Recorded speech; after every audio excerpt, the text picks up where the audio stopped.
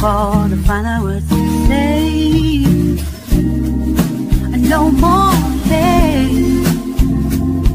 Just admit that you Kudu manfaat. Ayo semangat. Jangan lupa like, share, komen, subscribe, dan pencet tanda lonceng. Komen ya guys, di sini di channel Heri Asmara.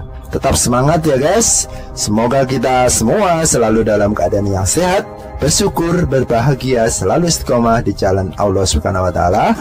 Amin ya robbal alamin.